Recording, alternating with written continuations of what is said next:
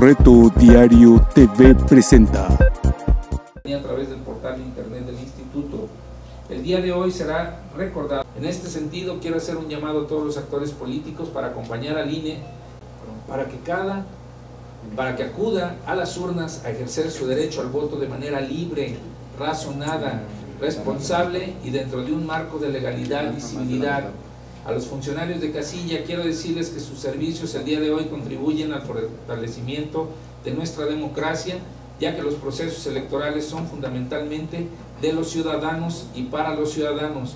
Ellos son la máxima autoridad electoral en este día en sus manos está la voluntad de los electores. Hizo de garantizar a los electores poblanos una jornada transparente y con certeza en sus resultados. Participación de las fuerzas del orden público en actos de eh, excesos pues no tienen otro eh, interés más que inhibir eh, la participación de los ciudadanos en esta jornada, pero yo espero y creo que así sucederá.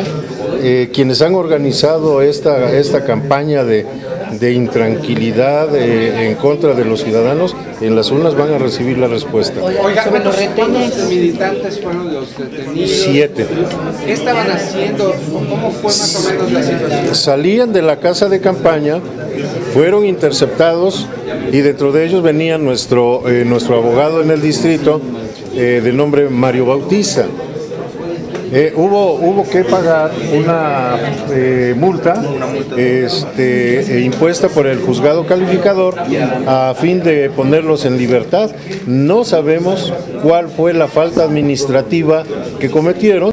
nos están reportando todo el Estado ya la apertura del mayor número de, casillas, representación del, del Partido Nueva Alianza al 96% con todo y el simulacro que realizamos a las primeras horas del día para saber cómo estaba nuestra gente, cómo estará eh, la defensa del voto.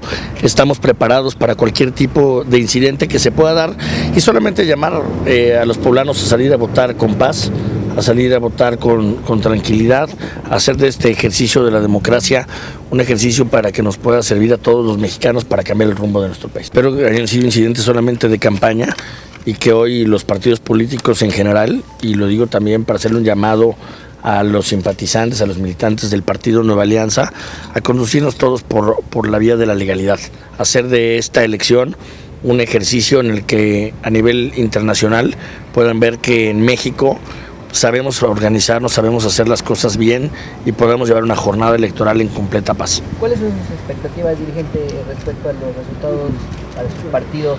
Eh, bueno, dar un, dar un resultado en este momento eh, sería ir contra las mismas reglas que marca el Instituto Nacional Electoral.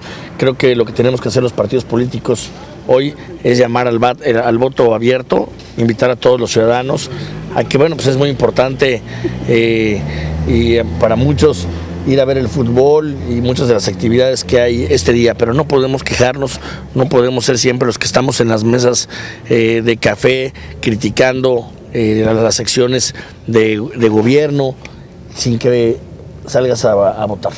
Dirigente, también ayer se, eh, se comentó, trascendió que iba a renunciar Libertad Aguirre en el Distrito 12, si eso es cierto, no es cierto, se filtró. Pues yo creo que ese es un tema que están haciendo los demás partidos políticos para, bueno, todavía querer llamar la atención, eh, todavía querer hacer y dar golpes bajos, decirte que los candidatos del Partido Nueva Alianza llegaron a, su cierre de campañas completamente en unidad, fortalecidos, un partido que viene en crecimiento de las expectativas de voto, pues hablaremos cuando la ley nos los permita más tarde y salimos con mucha confianza este día los aliancistas poblanos.